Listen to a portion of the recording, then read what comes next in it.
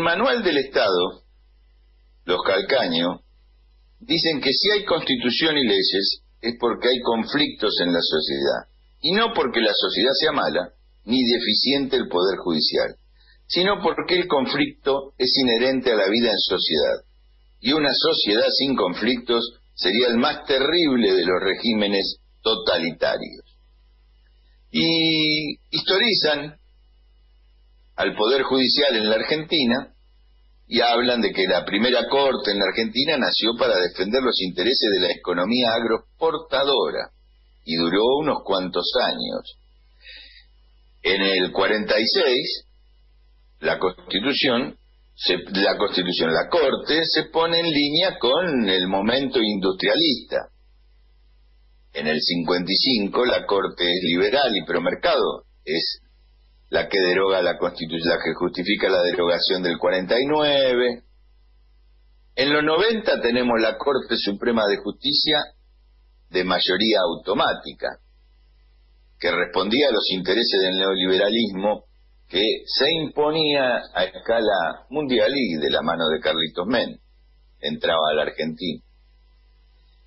Kirchner cambia la Corte, pero para cuando Kirchner cambió la Corte, ya el poder judicial en todo el país estaba infectado del virus del neoliberalismo y de las alianzas del poder judicial con los medios de comunicación y los medios de comunicación hegemónicos. Eh, ya estaba infiltrado el, paradigma del mercado. Y ellos enumeran cuatro vergüenzas judiciales. Eh, la, la que avalaba los golpes de Estado, ¿no?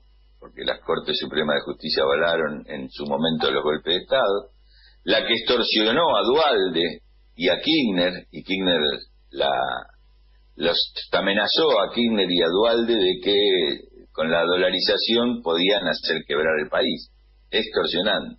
Ahí tuvo una actitud valiente Néstor Kirchner y cambió esa Corte Suprema de Justicia adicta.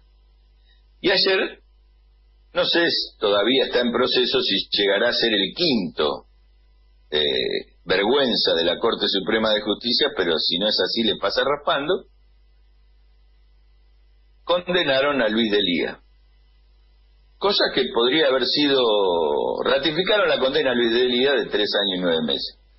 Cosa que podía estar sujeta a derecho, es interpretable, pero deja de ser interpretable y es un atentado a la democracia, cuando ese hecho de confirmar la condena a Luis de Lira se hace a pedido de lo que dicen los grupos hegemónicos de la comunicación Clarín La Nación y Infobae, que es Info Embajada, donde ya le pedían dos o tres días antes a la Corte Suprema, o avisaban que la Corte Suprema iba a tener fallos en contra de los exfuncionarios K y no decían, pero estaba implícito, porque se oponían a la reforma judicial que está intentando llevar adelante el gobierno de Alberto y Cristina.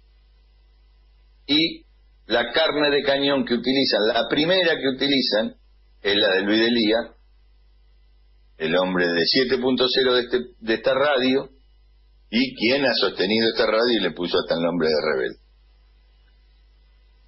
Y otro dato final.